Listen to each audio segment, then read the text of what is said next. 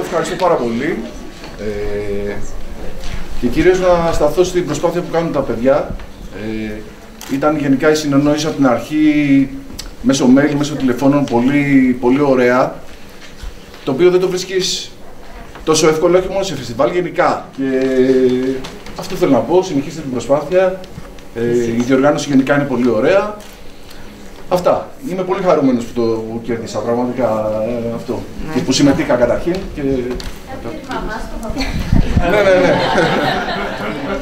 Ευχαριστούμε τον Αντώνη. Έχουμε και την Θέλω Μαρία. να σας ευχαριστήσω, να ευχαριστήσω το κοινό που μας ψήφισε. Ε, η διοργάνωση είναι πραγματικά καταπληκτική και ευχαριστούμε πάρα πολύ για όλα. Εμείς ευχαριστούμε.